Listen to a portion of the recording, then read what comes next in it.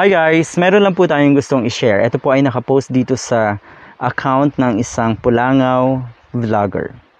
Sabi niya, mainstream dinner buffet with smart TV, laptops, iPhone giveaways. Samantala, ang vloggers, senior citizen loyalists, insaymada lang. Kung ang administrasyon mismo ay busabos ang tingin at trato sa mga lower class, sama-sama at lalong lulubog ang mahihirap. So ito yung nangyaring meet and greet ng mga uh, vloggers at uh, senior citizens na loyalists sa Malacanang at ang kanilang kinain nga lang ay ensaymada. Ang iba sa kanila ay nanggaling pa sa napakalayong lugar pero yun lang ang dinat na nila gutom na gutom, na masahe, gumastos, pero yun lang.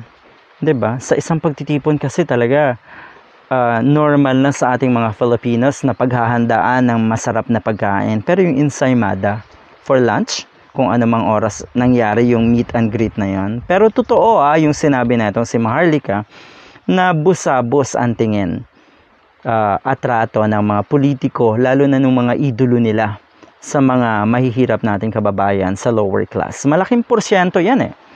'Di ba? Nang ibig sabihin, talagang gusto nilang panatilihin na lang na busabos at umaasa sa gobyerno. Dahil pagdating nga naman ng election uli, mahirap hanapan ng kiliti pag iangat na natin ang buhay ng mga nasa lower class. Mahirap po talaga. Abay, konting ayuda lang dyan. Pakimkim na 500 or kung kahit 200 lang siguro, ay kuhang-kuha na nila ang boto. Konting bungkal lang at ayos ng kalsada sa harap ng mga shanty houses halimbawa sa Metro Manila, ay sigurado tayo na may boto na yung politiko na nagpagawa nun. Ganong kasimple po.